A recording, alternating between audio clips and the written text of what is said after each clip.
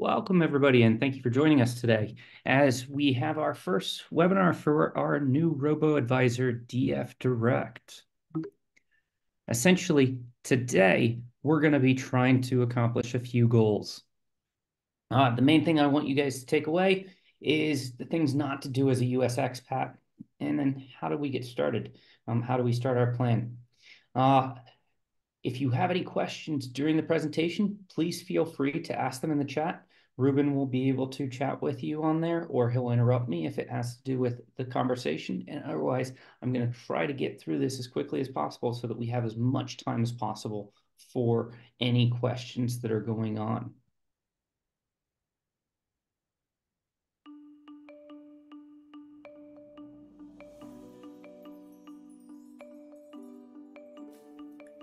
John Burroughs once said, A man can fail many times but he isn't a failure until he begins to blame somebody else.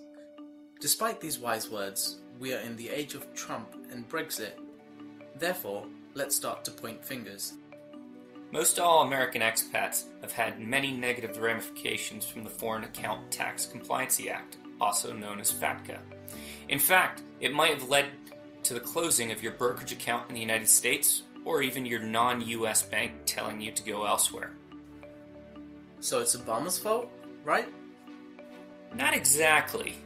When you follow along with FATCA brought about, it's really introduced ways that American expats could get caught while not declaring taxes, owning PFICs, or even not declaring taxes that were owed. So if Obama just built a means to catch non-compliant individuals, why did everything change for expats in 2010? Well, rules from past presidents started to be enforced. Ronald Reagan, the beloved president that was in favor of cutting taxes, added a huge tax to American expats with foreign investments with the introduction of PFIC rules, also known as passive foreign investment companies. These were designed to prevent Americans from owning managed vehicles from foreign jurisdictions.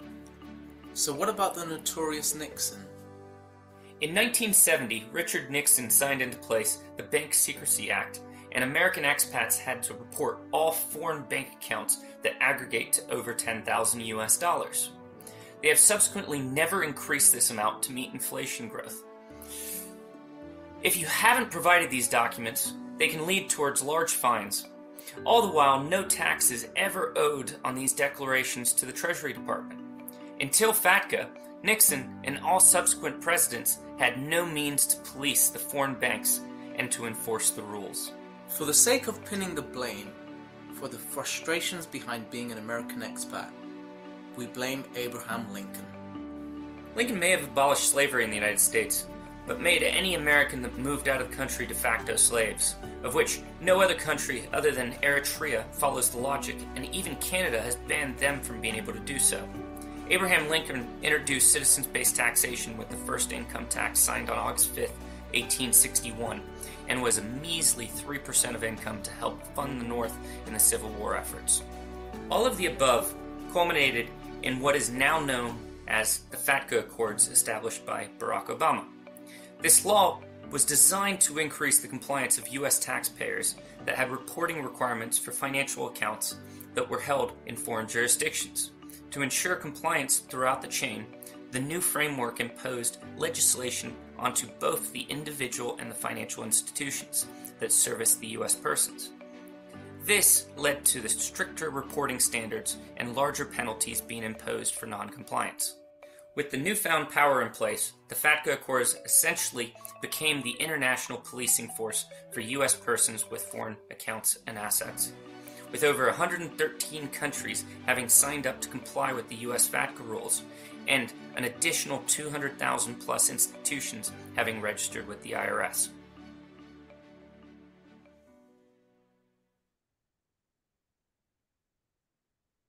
So we've established the problems that, that, that affect us all as Americans, FATCA, FBARs, PFICs. These are things that we have to navigate through.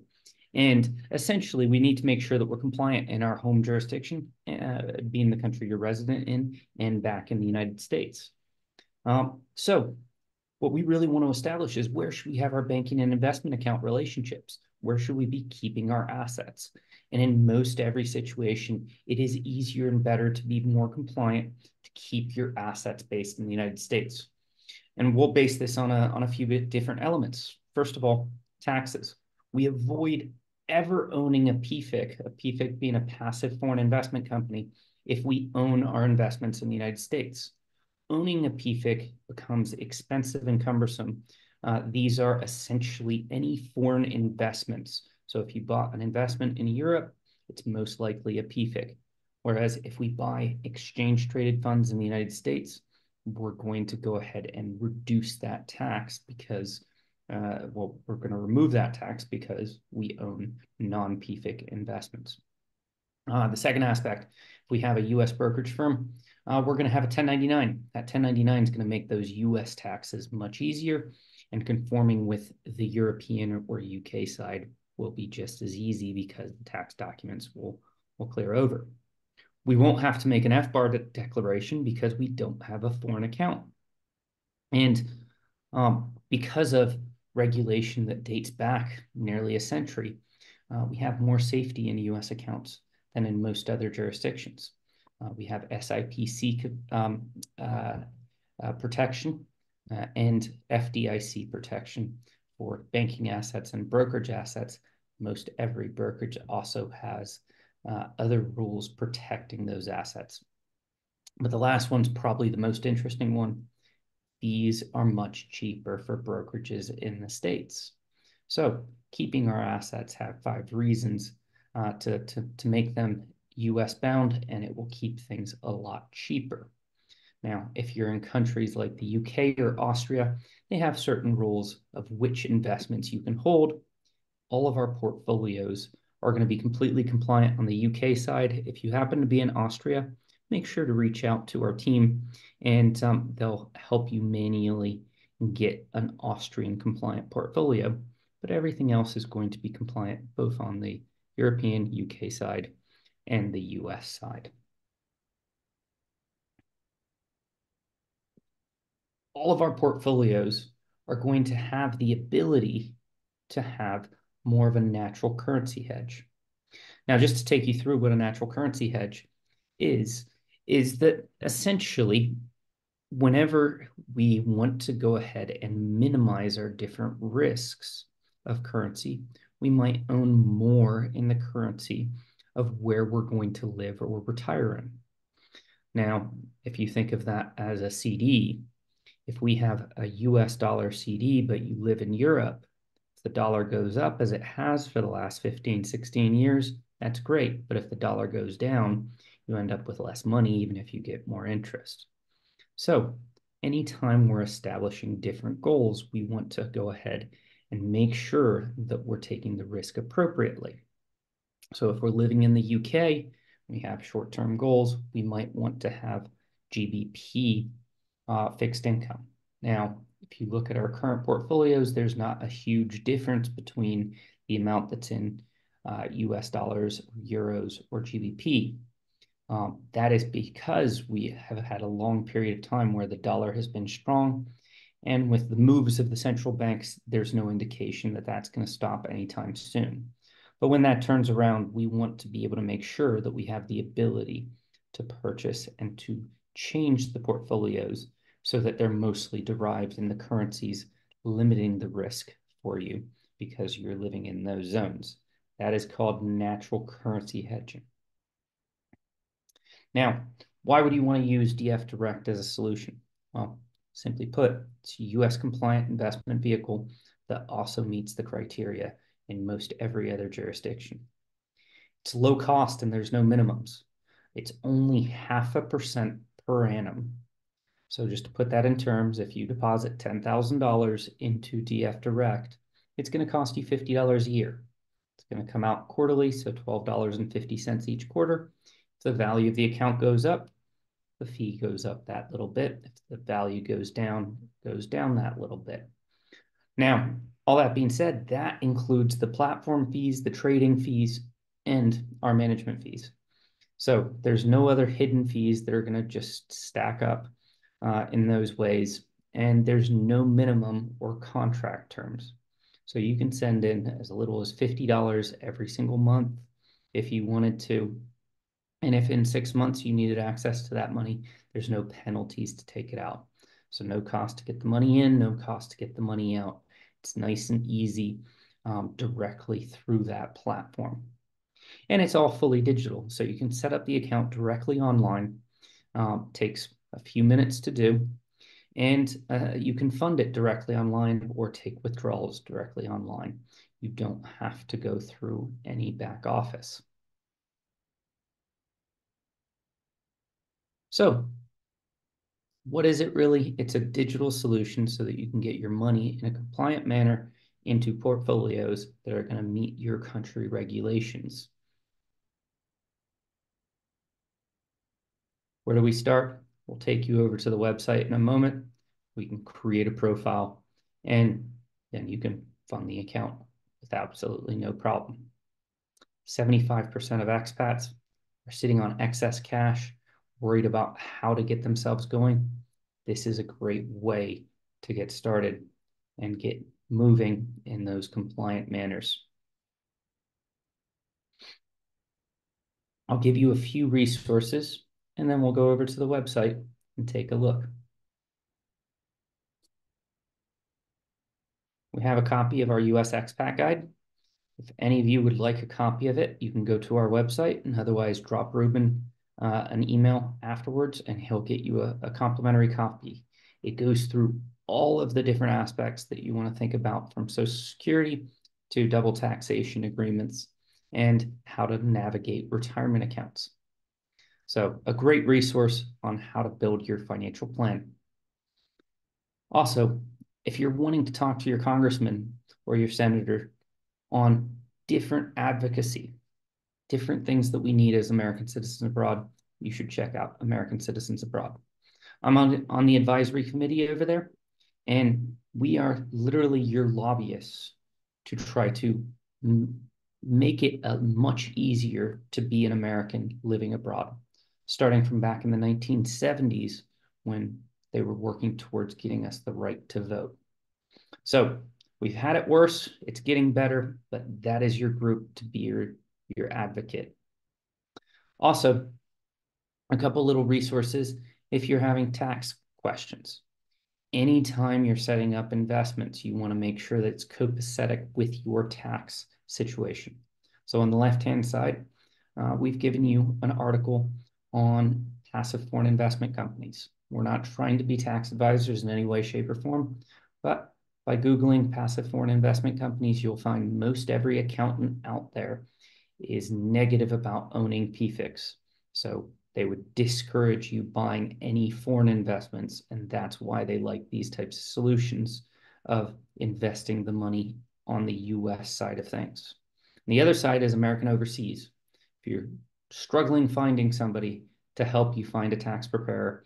They're a Dutch based organization that works with Americans all around the world to help pair them up with any tax accountant that might be able to help in their situation. The last one is how people are regulated. So this gives you the example of the US side and the UK side of things. Uh, we're regulated in Europe, the UK, and the United States. This is how we're able to give advice on those sides. Our sister firm, Dunhill Financial, is a full financial planning firm in which we build full financial plans. DF Direct is built so that it's just manage, managing those assets. So if you're not needing to talk to somebody on a regular basis to build that full financial plan, it's just a cheaper way to get your money working for you. Now, if we go to dfdirect.com, essentially it's as easy as this. On the top bar, um, you're going to find your blog and your frequently asked questions. Check those out and you'll be able to answer most of the questions you might have. But if you just click on the Get Started button, what you're going to find is a series of questions of where you live and where you potentially will end up. Now, we know that we want to keep doors open. So don't worry if you're not for sure if you're going to stay in the UK. You can still answer that you live in the UK now and potentially in the future. So don't get hung up on that. It doesn't have to be exact from that vantage point. Um, then you're selecting which goal you might have, whether it be just general education or retirement. Um, this is just going to affect the time horizon that you might have. And then you can get a little bit more exact on what the time horizon would be. If you're going to retire, but you're going to be a young retiree, it's always going to be 16 years or more. It's not the number of years until you get to retirement because you're not going to spend all of your money in the first year of retirement. At that point in time, how important is it to get the money out? How much experience you have? Well, I've been doing this for 20 something years, so a lot of experience. And how you look at your returns. Would I like to maximize long-term returns um, but also deal with fluctuation. We have to remember that the markets are only up 70% of the time. So three out of every 10 years, we're going to have losses. So if that starts to make you panic, we want to be more on the protecting of our value, but we're going to get less returns. If we want to set it and forget it and get better returns, but know that three out of every 10 years, we're going to lose money. We want to be on that maximizing of the long-term effects. At this point in time, we're literally just going to put in our email address and we will get a confirmation email sent to us. From there, it's going to prepare our investment solutions.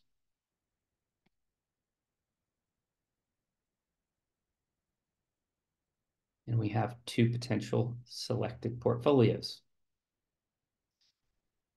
I'm going to take the growth portfolio just because I'm not as aggressive as you might think. We're only using exchange traded funds. These are low cost ways of us getting into the market and getting fully diversified, but they're going to be compliant. So they're going to be on the HMRC list here in the UK, they're going to be MIFID compliant in Europe and US compliant from there. We're going to have exposure to all the global markets and we're going to keep it diversified. And if we cl click on this, select this portfolio, essentially, we're going to be able to select what kind of account do we want? Do we want an IRA or an individual account?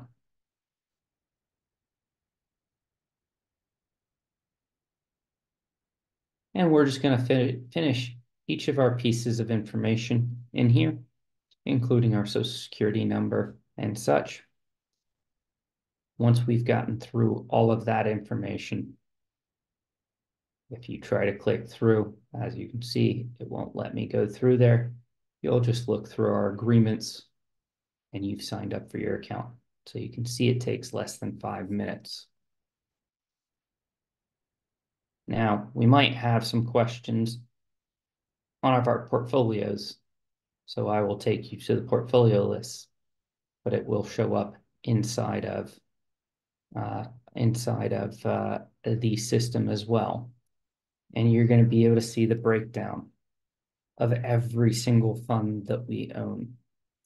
So the funds essentially break down to an ownership where our top 10 holdings include Microsoft, Apple, NVIDIA, Amazon, Alphabet, Meta, um, and the likes. So we're getting exposure to all of our US uh, big names but we're getting diversification across the world.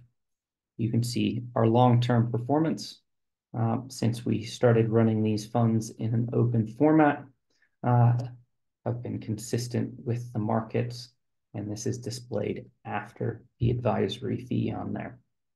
Each and every one of our portfolios are listed on the website, and you can pull those. Otherwise, if you reach out to Ruben, he will be able to uh, uh, send you exactly which piece you might want to look at or answer any questions that you may have. Um, but they're built to be your conservative-based portfolios. They will go up and down with the markets. They're designed in what's called a core plus satellite approach. Now, the core portion has to be at minimum 80%. These are positions that we intend to own for the long term We want to do that to minimize the actual trading inside of the account to reduce the tax. Now, the 20% are not high exciting, uh, high flyers that are trying to increase performance. Instead, what they are are essentially uh, pieces to reduce the risk, and those will actually increase performance over the course of time. So a lot of times that's actually managing the fixed income side of the portfolio or buying pieces of the portfolio like healthcare that are lower cost than the tech sector, but that have anticipated higher earnings. You'll be able to join our economic updates that are on a quarterly basis. And Cam and I go through exactly what's going on in the portfolio and in the in the overall economic market. On our Dunhill Financial YouTube page, you can find all of the past economic updates. So please check those out or reach out to Ruben and you'll be able to find those. Um, any questions you might have, please put them in the chat or the Q&A. I see the first one here. Can I choose portfolio currency or only available in, in USD? That's a great question, Ari. So right now, everything is in USD. Um, we anticipate, hopefully by the end of the year, that we'll be able to have multiple currencies and a currency toggle inside of the system. Um, so right now, you have to deposit US dollars, um, have US dollars come out, and the reporting is all in US dollars. But the availability will come in the future to have GBP and Euro inside of the account. Our providers can access it, but we wanted to get to market first instead of uh, being in a hurry to wait for that. Do we have social responsibility, especially carbon-free options? So in, in our customized portfolios, we do a lot when it comes to ESG. Um, and uh, essentially, those options are not available inside of the robo just yet. Uh, the main reason why is, as I was talking about, Austria and the UK only have certain funds that are permitted to be purchased. So, for instance, uh, and, and it's not that other funds can't be purchased, it's just they're not going to be uh, taxed in the same way as ones that are HMRC approved. So, for instance, VOO, the Vanguard S&P 500, is approved here in the UK. But if we bought SPY, which is still the S&P 500 just run by State Street, it's not. So instead of paying a lower capital gains tax, we would pay our earned income rate, which could be closer to 50%. Now, I personally use for a lot of other people uh, in, in other countries, DSI, which is the KLD 400, uh, a reduced version of uh, eliminating 100 stocks that are not ESG friendly. Um, it just doesn't happen to cater to UK or Austrian residents. So we hope to be able to offer more in the future as we're asking these, these firms to try to get themselves to be HMRC compliant and the such so that we can build a full socially responsible portfolio. This is something that you're passionate about, um, we can do it in our financial planning firm over at Dunhill Financial um, because we can actually customize all the portfolios there. Uh, but we are trying to be as socially responsible with everything that we do. You're not going to see uh, for instance, a oil fund inside of the portfolio or such, but naturally there's going to be oil firms inside of the S&P 500. Can you please repeat? In the EU portfolios, we can purchase US ETFs that are MiFID compliant, right? So a US citizen living in Europe can now purchase US ETFs. That is correct. We're purchasing them for you, Paula. Um, the the main reason why um, there's problems with a lot of people being able to buy ETFs in different places is that um, uh, essentially the U.S. states that we can only look at back performance. So when I showed you this portfolio, I'm essentially saying this is the back perform performance of that portfolio. I expect that the stock market would be up seven out of the next 10 years but I can't quote that that's going to be the performance because nobody knows what's what's what's ahead. Europe instead, in uh, their statements, states that we have to give an indicated uh, potential return. So if you were to buy each of these funds individually, they would have to state what you would expect them to return. So we're stating how much we expect you to return based on the portfolio put together. That's what keeps us compliant on the MiFID side, but we're only showing on an individual basis what the past performance is. That's how we're making it so that you can buy those exchange traded funds um, by buying them as a group in that way. Um, so you'll have full access to all those ETFs. It is automatically rebalanced, May. Um, we, we rebalance on a quarterly basis or any time that you're sending in new funds or taking out any funds. And like I said, there's no trading fees for any of those rebalances um, as we take care of those. And uh, Paula, you get a full 1099. Uh, the back end is supported by DriveWealth. Some of you might not have heard of DriveWealth, but if you've heard of Revolut, that's who they clear through on the back end. So a good, big, consistent uh, player uh, from from that vantage point, and you get all of the U.S. protections on your account as well. So uh, full 1099 for U.S. tax reporting um, and uh, more functionality to come. Appears this is going to be synthetic portfolios. Is their custodian still involved for the IRA? Two, uh, okay.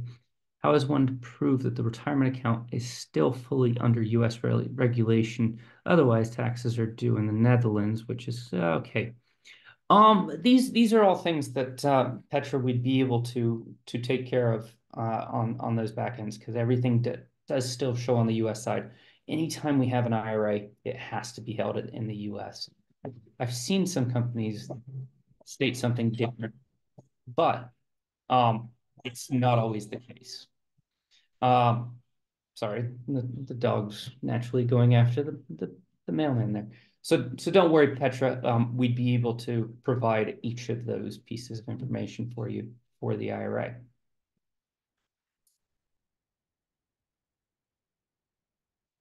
Think we've covered all the questions in there. If you have any other questions, um, I'm going to have uh, Ruben jump in here and introduce himself, and he'll provide you his contact details.